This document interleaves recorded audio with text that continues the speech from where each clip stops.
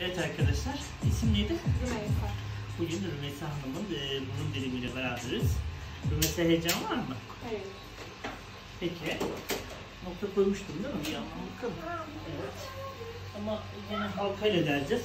Rümeysa Çanakkale'ye gidecekmiş. Ondan dolayı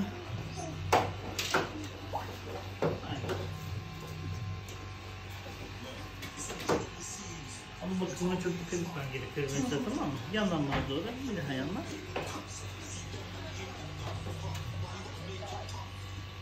Hazır mısın? Hı hı. Bitti.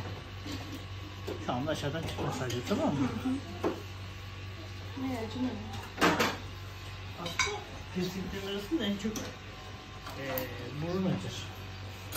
Tahmin ettiğim kadar acımıyor. Şimdi piercingi takacağım. Hop. Bitti. Sadece topu kaldı.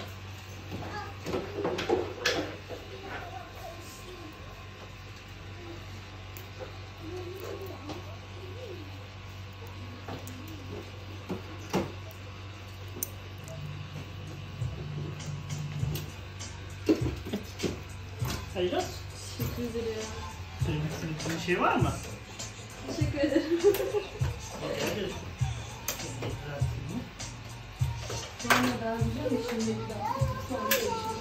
Evet arkadaşlar bir işlemin daha sonuna geldik. Bir işlemlere görüşmek üzere. Hoşçakalın.